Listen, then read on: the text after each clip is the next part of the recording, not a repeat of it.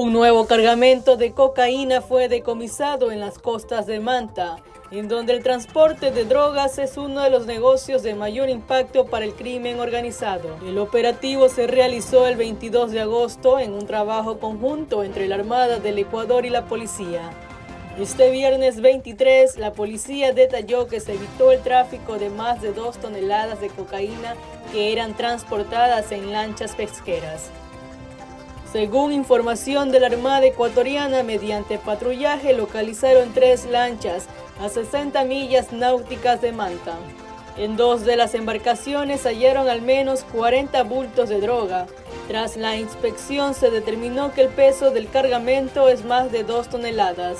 Además, la Armada decomisó seis motores fuera de borda, 10 pomas de combustible, una boya de posicionamiento satelital, celulares y equipos de comunicación. Las autoridades presumen que la droga iba a mercados de consumo internacionales. Por ahora investigan de dónde salió el cargamento, el destino final y a qué organización está involucrada.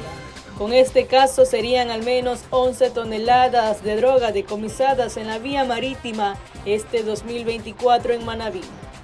Para Última Hora Ecuador, Hilary Maruri.